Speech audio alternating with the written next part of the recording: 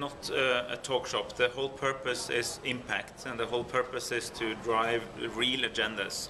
What we do here is to bring together uh, top thought leaders, academic leaders, political leaders, business leaders, NGO leaders, to think together, uh, but to think with the purpose of uh, coming up with specific recommendations. And there are so many examples, but let me take one.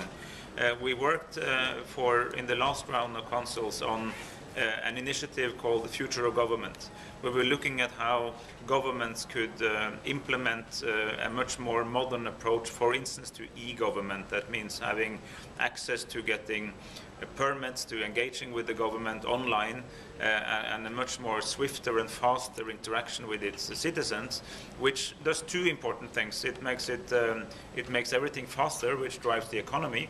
It's a part of a competitive economy, but it also builds trust because the, the, a better relationship between between the ruler and the ruled uh, is good for any society. And actually, I'm happy to say that the UAE is one of the government that has been actually best as implementing some of the recommendations that came out of that council. That's just one of many examples. And for